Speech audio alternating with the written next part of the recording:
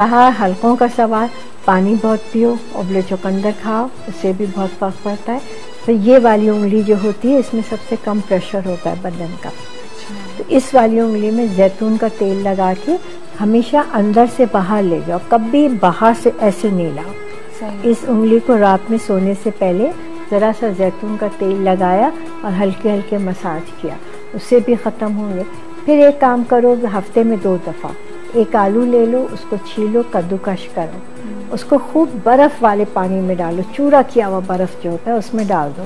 एक चमचा शहद और वो ठंडे आलू, कद्दूकश किया हुआ जो है, आँखें बंद करके, लेप करके, लेट जाओ थोड़ी देर। दस मिनट के बाद वो आलू हटाओ और उसी पानी से रुई के ज़रिए आँखें साफ़ कर लो दो दफ़ा करोगी, पानी पियोगी, उबले चुकंदर खाओगी, रात में जैतून का तेल लगाओगी हल्के ठीक हो जाएँगे। हल्के भी ठीक हो जाएँगे और जो आपकी प्रॉब्लम थी दूसरी पसीने वाली वो भी इंशाल्लाह जल्द ही बिल्कुल फिटकरी से फ़ौरन खत्म होती है। हाँ फिटकरी से आपा ने पहले भी बताया हुआ है ये वाला टिप जी आ, और उसके